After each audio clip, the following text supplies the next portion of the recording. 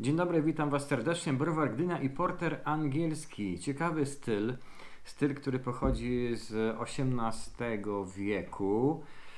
Mm, słowo porter wywodzi się z tragarzy mm, portowych, pracowników, portersów, avengersów. Stąd słowo porter. E, mm, pierwsze piwo zostało w tym stylu uważane w około 1730 roku. Ciężko tu mówić o jakimś stylu, ponieważ była to mieszanka trzech, jak się okazuje. E, Pejla zwykłego, czyli Eila, krótko mówiąc, e, Milda and Browna. I taką mieszankę nazwano w pewnym momencie porterem.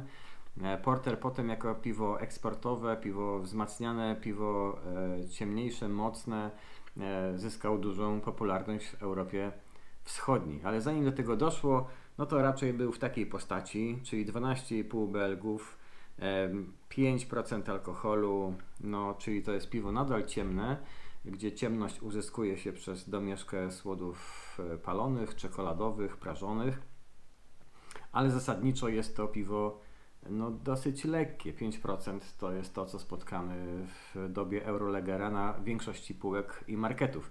Stary browar rzeszowski jest to piwo niepasteryzowane, niefiltrowane, piwo uważane według receptury zwycięzcy e, piątego karpackiego konkursu piw domowych Michała Jadwisiaka. Kiedy startowałem, e, chyba jakieś trzecie czy czwarte miejsce tam udało mi się e, zająć. Browar umiejscowiony na rynku, znaczy na ulicy Rynek 20. E, skład: woda, słody jęczmienne, pale ale, brown, Karamunik 2, czekoladowy, a więc będzie trochę kawy, Karafa Special, e, chmiel, Ministrel i Challenger drożdże S04. Coś wspaniałego, e, tak przynajmniej brzmi etykieta, jako coś stylowego. Otwieramy, nasycenie dobre, przynajmniej takie wiecie, z, z psyknięcia. Piwo prezentuje się, no dobra, porterówka, załóżmy. Całości nie naleję, co by nie złapało mętności. Tak wygląda to piwko. Ciemne, przebłyski rubino, rubinowe na dnie, e, mocno brązowe, piana, no piana niezbyt trwała, piana taka troszeczkę znikająca, średnio zbudowana. E, aromaty czekolady mlecznej. Ewidentnie, super. Krówka, mm, trochę snickersa. W każdym razie dość słodko. Dość słodko w aromacie. Tutaj nie ma nic y, złego, nic co by się tutaj przypałętało.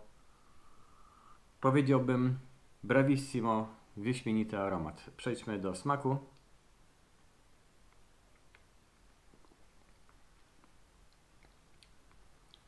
Całkiem, całkiem dobry smak również. E, smak, uwaga, e, taninowy, lekko ściągający od pierwszego łyku. E, dużo w tym smaku kawy i paloności. Malutka popielniczka. Aczkolwiek zaraz to jest niwelowane przez słodki finish. E, zbytnio tutaj mm, goryczki nie czuć. Świetna aksamitność. To piwo jest e, zarazem lekkie, ale też ma e, dużo e, ciała. Super kompozycja. Udało się uniknąć efektu rozwodnienia w tym piwie. Mm. No muszę powiedzieć, że jestem pod wrażeniem.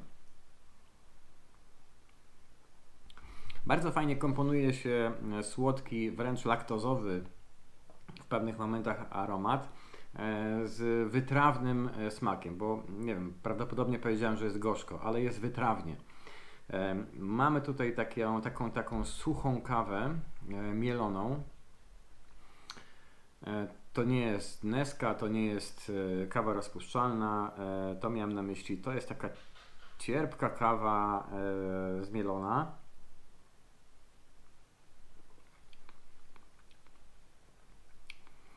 Jest takie wrażenie suchości, ja to nazwałem popielniczką, ale chyba tak to można nazwać. To nie zalega, aczkolwiek pierwsze wrażenie, taki wpływ na języku jest taki trochę, mm, tak, taka marskość języka się łapie, co świetnie się komponuje ze słodkim aromatem. To piwo nie, na pewno nie, nie zmęczy zawodnika.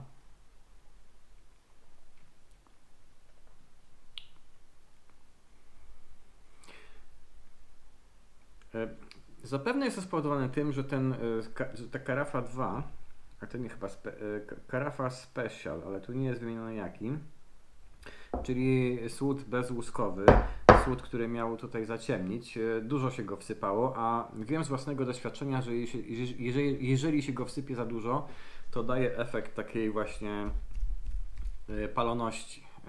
To można poczuć chociażby w stylu Black IPA gdzie próbuje się zaciemnić to piwo właśnie tym słodem i to piwo idzie w stronę amerykańskiego stoutu. Fajnie. Fajnie. E, mm, zastanawiam się właśnie, czy porter powinien być taki mm, dosyć mocno palony. Tutaj jest taki prażony, suchy, wytrawny, także tutaj do paloności jeszcze trochę mu brakuje, ale piłem już risy mniej wytrawne. Także Mowa oczywiście o stałcie, więc tutaj nie mieszając stylów, jeżeli miałbym jakieś uwagi, tylko taki, że trochę, trochę za dużo yy, paloności w tym porterze jest, a poza tym wyszło fajnie, bo jak na lekkie, ciemne piwo yy, udało się uniknąć, powtórzę się, rozwodnienia.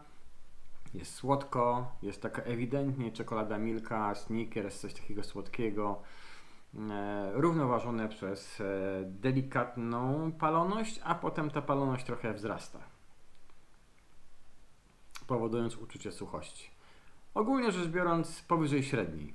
Także z pewnością e, godne polecenia piwo ze starego browaru rzeszowskiego. No nie jest źle, a swoją drogą pozdrawiam Michała Jadwisiaka, że udało się w skali mm, browaru restauracyjnego w miarę dobrze powtórzyć, chociaż nie piłem oryginału, ale domyślam się, że jest lepszy jeszcze ten oryginał, stąd wygrał. Na taką skalę piwo w tym stylu, czyli porter angielski. Czemu nie brytyjski?